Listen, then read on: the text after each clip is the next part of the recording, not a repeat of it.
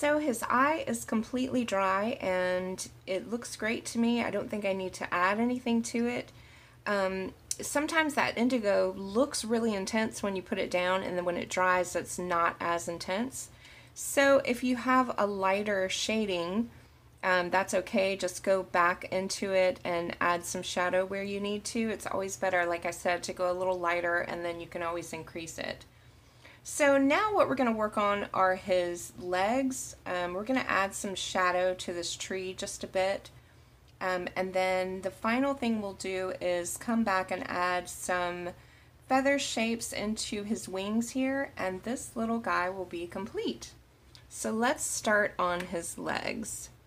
So for this process, I'm actually going to use the red, maybe a bit of the indigo, and some orange as well. So it's going to be kind of a muddy color, which is really what I'm going for.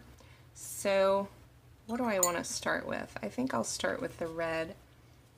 So I'm not wetting the area first. I don't even really have that much water on my brush. This is such a small area so you don't want to get it too wet. Um, and we can always come back and add detail as well as well. So really just trying to get a, a layer of paint on here. So I've got the red in, I'm going to add some orange now.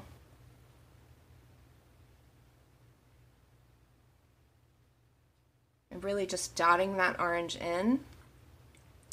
And now I'm going to come into the indigo and start dotting that in as well, almost like a shadow color. It might look a little intense when you put it on, um, but remember it dries lighter. So we, we kind of want this to be a bit of a muddy color because the red and the indigo will make a bit of a purple, and if you add orange to purple, it makes mud. So just adding a few more hints of color here and there.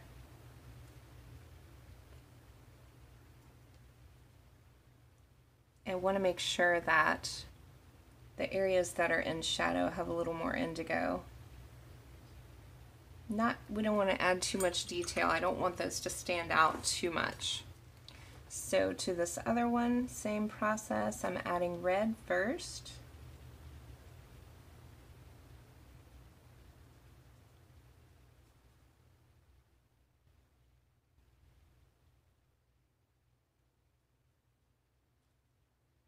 Now I'll drop in the orange,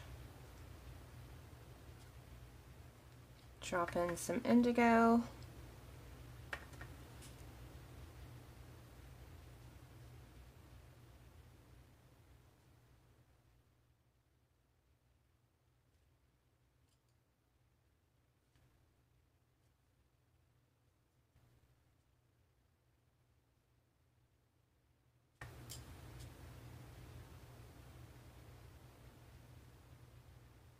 and we'll let those dry and see how they turn out and then we'll work on the tree. Okay, for the tree part, pretty simple. We're not going to go um, too intense. We're going to keep this um, really light. So I've grabbed a mid-size brush. This is a 5.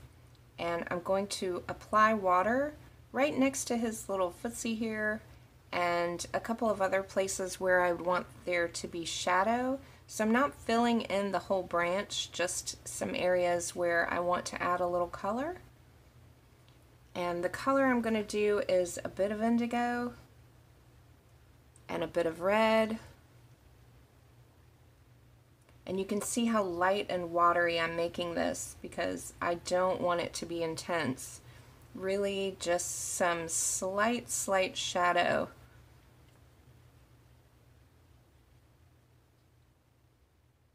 And you really could, um, I could even add orange to this. I think I will. To almost give it that brownish tone, but a much, much lighter variation of it. So same thing throughout the whole um, branch here. So as I come up here, I'll do less and less and I'll also use a smaller brush.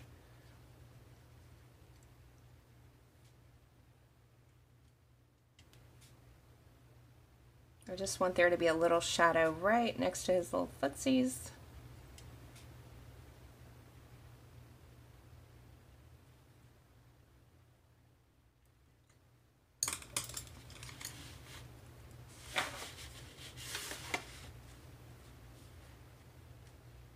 So dropping down to a smaller brush and I'll just continue this process of adding a little color, a little shadow.